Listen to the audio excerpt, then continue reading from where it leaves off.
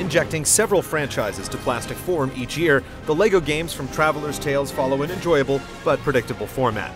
With an open Gotham City to explore and full voice acting, LEGO Batman 2 DC Superheroes builds beyond the boundaries of past LEGO titles. But does it truly break the mold? You like missiles, Batman? Because I think they're going to like you!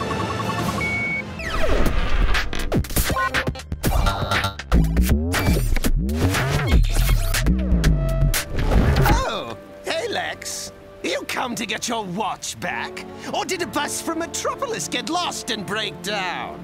As the subtitle implies, LEGO Batman 2 isn't all about the dynamic duo, but just barely. An alliance between Lex Luthor and the Joker makes Superman a regular addition to your team, but you won't be joined by other members of the Justice League like Wonder Woman and Green Lantern until the final chapters. The addition of voice acting may take some time for LEGO veterans to get used to, but it's much easier to follow than the usual grunts and pantomimes. While these aren't the same voices fans know from Arkham City and the animated series, they do a fair job of conveying each character's personality. It's still about lighthearted humor overall, emphasizing the rivalry between Superman and Batman instead of delving into dark backstory. Hey guys! Need a hand? With what? Parking? Hi guys!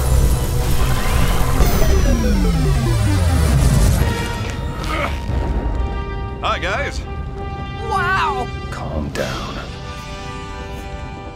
Keeping in line with past games, LEGO Batman 2's story consists of 15 levels, taking about 7 to 8 hours to complete if you save collectible hunting for later.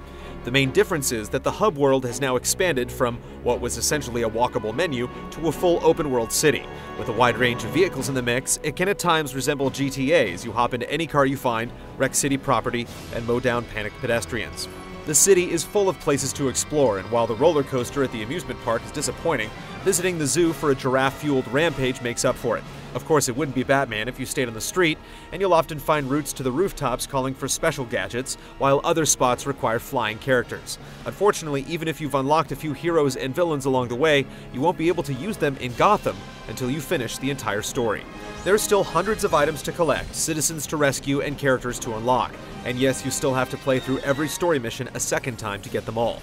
Finding items in the hub, though, is much easier thanks to a scanner that shows the location of every hidden item. The map itself isn't the best aid to navigation, as it doesn't show which direction you're facing, but with a bit of trial and error, it gets the job done. One pesky flaw comes with the new mid-level save points.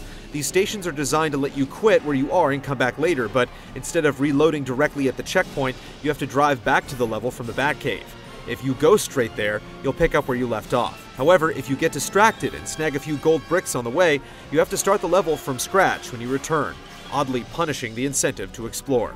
I mean, if we just call him. Robin, we can't go through life expecting Superman or anyone else to save us whenever things get tough.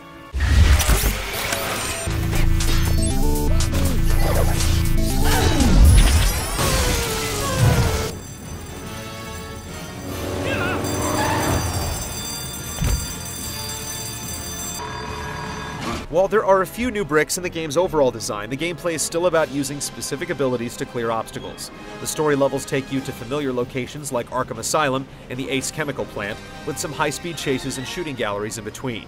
Batman and Robin's extensive collection of gadgets take the form of various suits with different functions such as blowing up metal objects, wall jumping, or spraying liquids. Since the game is designed with co-op in mind, there are some areas where you'll need to switch back and forth between multiple characters to advance. Once Superman becomes playable, you'll also get to take advantage of his heat vision, frost breath, and of course, flight. The other 47 characters in the game are certainly underused. You get a few moments of greatness with Green Lantern and Cyborg, but others like The Flash just fill out the ranks in free play. The same can be said of the brief brawls to unlock villains and Riddler's puzzle boxes, which fail to inspire. While the controls work well for the fixed perspective of the story missions, trying to fly Superman to a specific rooftop can be clumsy, and you'll have to fight the camera at times.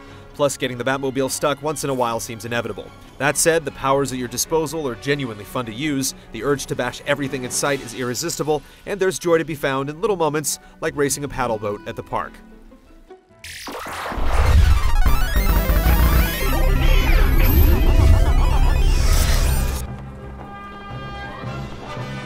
Although Gotham City does offer a greater sense of scale, the look of LEGO Batman 2 falls safely in line with past games, placing interactive LEGO objects amid static, realistic backgrounds. The comic animations still play a huge part in the game's charm, and there are some larger set piece moments as well.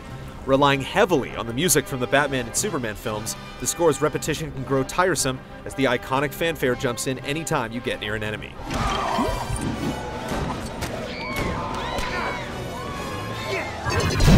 With an expansive city to explore between levels, LEGO Batman 2 can easily be likened to an Arkham City Light. The promise of playing with other DC superheroes isn't brought to its full potential, as the story remains laser focused on Batman, Robin, and Superman.